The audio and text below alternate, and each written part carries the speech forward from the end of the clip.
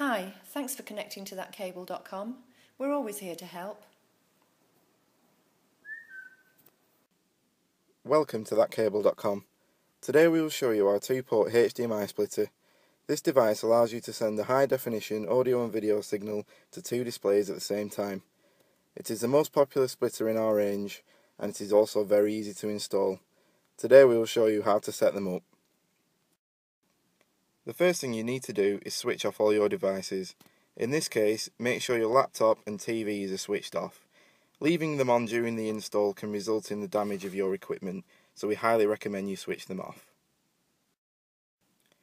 Then plug the HDMI cable that you have into your source device. For the purpose of this video, we have used a laptop. Then plug the other end of the HDMI cable into the connection labelled input on the 2-port HDMI splitter.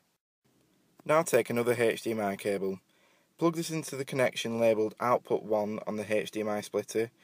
The other end of this cable should then be plugged into your display.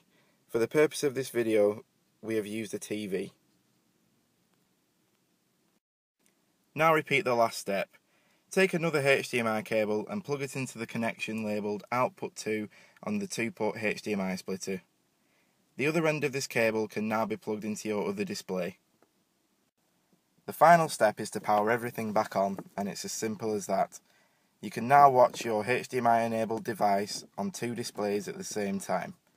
If you require any other help with this product that we sell or any other from our range, please do not hesitate to contact us following the information below. Thanks for watching and don't forget to subscribe.